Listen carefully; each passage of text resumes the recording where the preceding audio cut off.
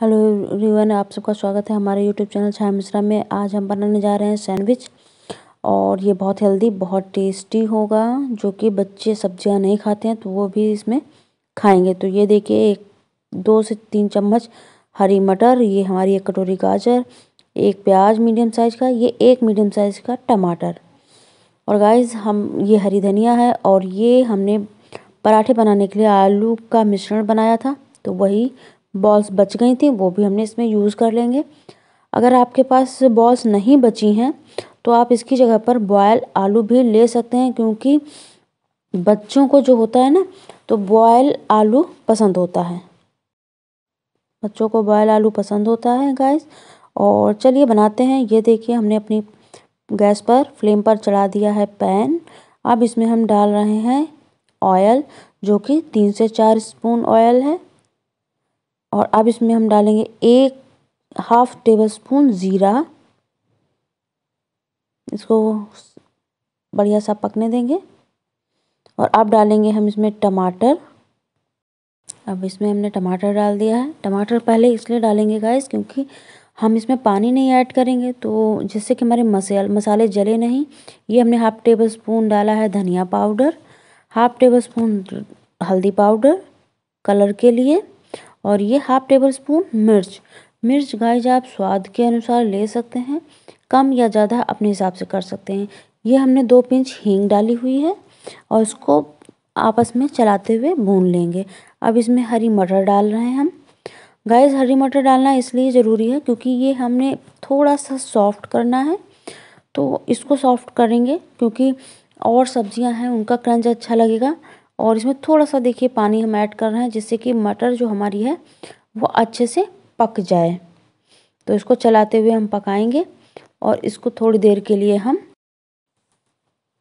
Gas अब इसमें हम प्याज डाल रहे हैं।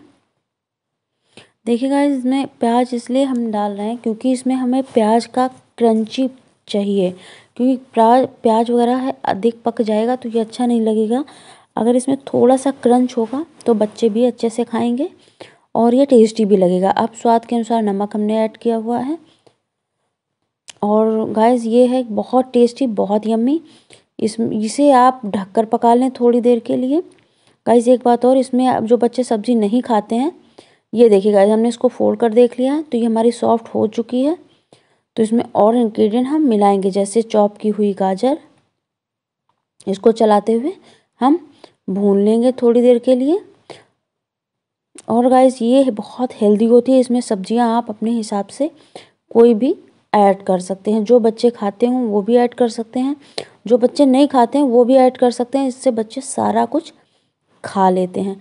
ये देखिए, जो आलू की बॉल्स बची हुई रखी थी मिश्रण की, वो भी फोड़ कर हम इसमें मिला दे रहे हैं। अगर आपके पास ये बॉल्स ना हो तो आप बॉयल आलू भी इसमें ऐड कर सकते हैं। आलू गाइस बच्चों का प्रिय खाना है, इस वजह से ये ज़रूरी है।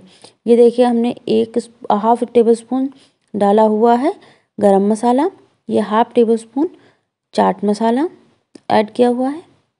इससे गाय स्वाद बहुत बहुत बहुत अच्छा होगा, क्योंकि इसमें नमक भी हम अपने हिसाब से ही डालते हैं, क्योंकि इसमें हमने चाट मसाला वगैरह ऐड किया हुआ है।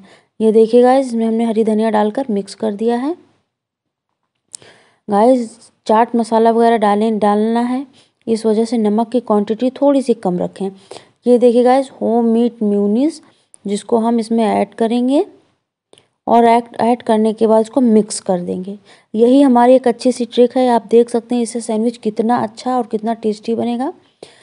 गाइस हमने इस फ्लेम को ऑन कर दिया है और इसको मिक्स करते हुए हमने इसे पका लिया है थोड़ा सा।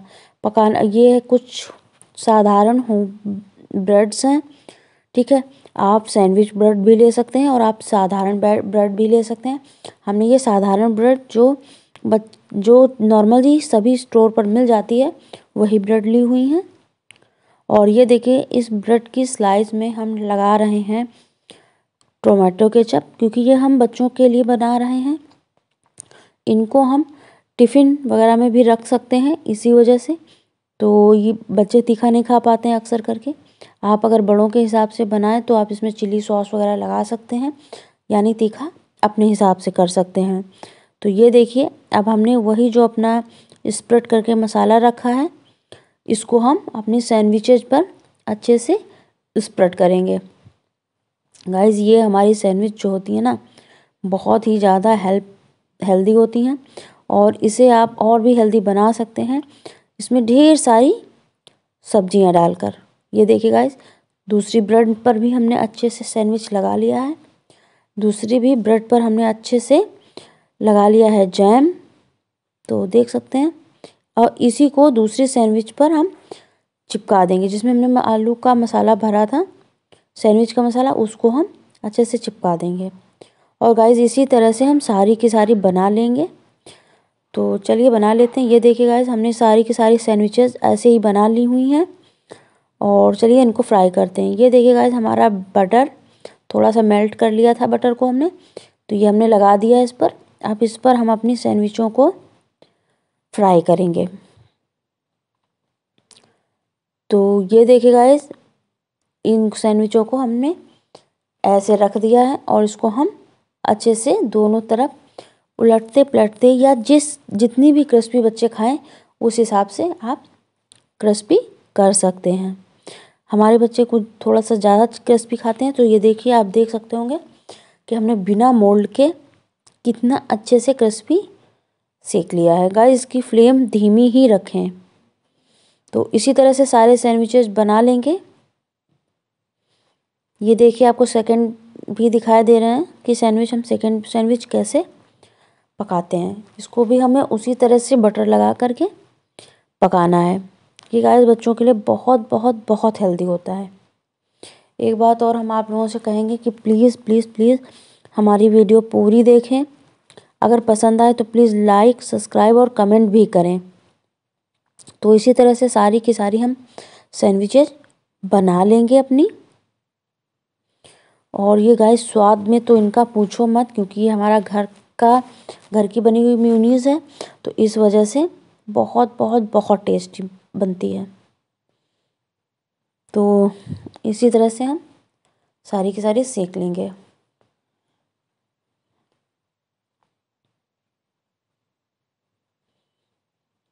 ये देखिए गाइस सारी की सारी हमारी सैंडविच सीख चुकी हैं और इनको हम थोड़ा सा इनका त्रिकोण टाइप का काटेंगे। सैंडविच जैसे सैंडविच हमारी काटी जाती है, उसी तरह से काटेंगे। आप सीधा भी काट सकते हैं, कोई प्रॉब्लम नहीं है। तो इसी तरह से हम काट लेंगे, क्योंकि बच्चों को यही सेप ज़्यादा पसंद आता है। तो ये देखिए, हमारी सैंडविचेज बनकर तैयार हैं। इनको हम सर्व कर रहे हैं। ये देखिए गाइज़ हम इसको होम मेड म्यूनीस के साथ सर्व करेंगे। आप इसके साथ कोई और अगर चाहते हैं, जैसे चिली सॉस टोमेटो सॉस ये सॉसेज हैं या और कोई तो वो भी ऐड कर सकते हैं। तो प्लीज़ हमारी रेसिपी कैसी लगी? कमेंट